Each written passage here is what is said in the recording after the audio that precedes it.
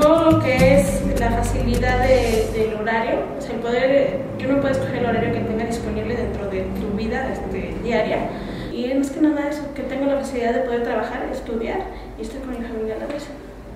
Bueno, mis expectativas son el adquirir los conocimientos necesarios en la carrera que ingreso, que los pueda desempeñar en el área que estoy este, trabajando, que me permita superarme también ahí dentro de mi trabajo y también en mi es terminarla, o sea, terminar la carrera, eh, este, responsabilizarme, comprometerme con el ESAD y darlo así que lo mejor que pueda, ¿no? Para poderla terminar e implementarla en, en mi vida, ¿no? Eh, poderla ejercer este, que esta me ayude a tener mejores oportunidades laborales dentro de mi trabajo y más que nada porque ahora ya es